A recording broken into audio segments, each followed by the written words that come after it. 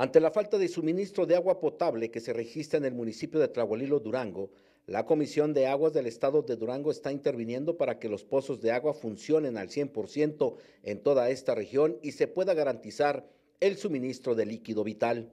Ellos tienen cuatro fuentes básicas de abastecimiento, de las cuales están en muy malas condiciones. Apenas un pozo fue rehabilitado y esto exacerbó los ánimos porque dejaron a alguna parte de la comunidad, se quedaron sin suministro más de 15 días.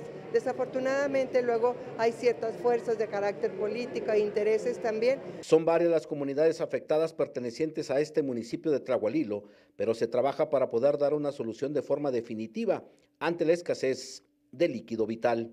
Se quiere rehabilitar los pozos, ya se rehabilitó el primero, ya está en rehabilitación el segundo y esto les va a dotar de 22 litros adicionales de agua, lo cual va a permitir que tengan una dotación, si no con gran presión, pero sí suficiente para una dotación tandeada por lo menos dos o tres veces por semana. Es que agua saludable para la laguna en aproximadamente al mes de, mes de diciembre estará dotándoles entre 30 y 40 litros por segundo, lo cual va a permitir que sectoricemos en dos partes, Atlahualilo norte y sur, para que finalmente salvemos este problema de fondo. Para Canal 12 Noticias con imágenes y con la edición de Donato Herrera Torres, les informa Roberto Silva Díaz.